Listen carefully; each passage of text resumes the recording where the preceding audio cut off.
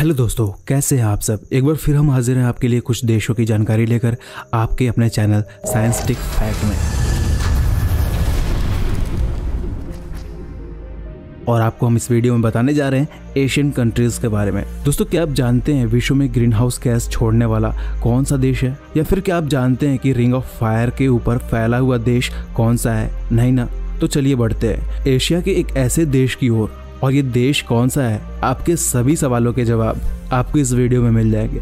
दोस्तों, इंडोनेशिया नाम लैटिन शब्द इंडियस इंडियन और ग्रीक शब्द निकोस मतलब द्वीप से मिलकर बना है। इंडोनेशिया को वास्तविकता में भारतीय द्वीप समूह या ईस्ट इंडिया द्वीप समूह भी कहते हैं। दोस्तों इंडोनेशिया विश्व में सर्वाधिक द्वीप समूह में निर्मित देश है जो 17,508 द्वीपों से मिलकर बना है जिनमें से लगभग 6,000 द्वीपों पर आबादी निवास करती है। तेईस करोड़ आबादी के साथ इंडोनेशिया विश्व का चौथा बड़ा देश है जो चीन भारत और अमेरिका के पीछे है। दोस्तों आपको यह जानकर हैरानी होगी की जावा द्वीप समूह चौदह करोड़ आबादी के साथ विश्व का सबसे ज़्यादा आबादी वाला द्वीप है। वहीं इंडोनेशिया द्वीप समूह पश्चिमी प्रशांत महासागर के रिंग ऑफ़ फायर के ऊपर फैला हुआ है। इस देश में 400 से ज़्यादा एक्टिव वेलकैनोज हैं और वहाँ की मुख्य भाषा भाषा है। लेकिन उस देश में 700 से ज़्यादा भाषाएँ बोली जाती हैं। इंडोनेशिया में प्रचलित कोंगलाक विश्व के सबसे प्राचीन खेलों में शामिल है। इंडोनेशिया की सत्तासी प्रतिशत आबादी मुस्लिम है, जो विश्व में सबसे बड़ा मुस्लिम देश है। जकार्ता इंडोनेशिया की राजधानी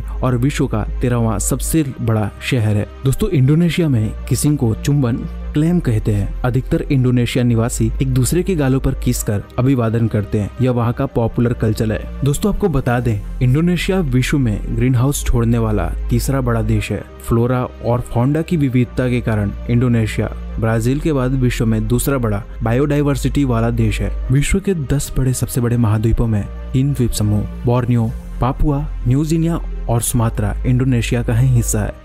विश्व की बढ़ती अर्थव्यवस्था वाला देश होने के बावजूद लगभग आधे से ज़्यादा इंडोनेशिया की आबादी दो डॉलर प्रतिदिन से अपना गुजारा करती है। इंडोनेशिया के निवासी अंधविश्वासी भी हैं और धारणा, यानी कि बातोनी बातों को भी मानते हैं। आपको जानकर यह हैरानी होगी कि अंग्रेज़ का केचप शब्द इंडोनेशिया के ई सी ए पी इस शब्द से आया है, जो यहाँ के मीठे सोया सॉस को भी कहते हैं। इंडोनेशिया के निवासी कभी भी खुले में सेक्स की चर्चा नहीं करते। यहाँ के निवासी नर और मादा जननांगों के लिए इंडोनेशिया भाषा में गुप्तांग केमालुआन शब्द का प्रयोग करते हैं। तो दोस्तों, उम्मीद करता हूँ आपको यह वीडियो बहुत पसंद आया होगा। अगर आपको हमारा यह वीडियो पसंद आया तो आप इसे लाइक कीजिए और हमें कमेंट करके बताइए आप कौन से टॉपिक पर अगला वीडियो देखना चाहते हैं। दोस्तों, ऐसी जानकारी को आप अपने फ्रेंड्स और फैमिली में भी शेयर कीजिए। और अभी तक आपने हमारे चैनल को सब्सक्राइब नहीं किया है तो पहले सब्सक्राइब कर ले, ताकि ऐसे रोचक जानकारी वाली वीडियोस हम सबसे पहले आप तक पहुँचा सके।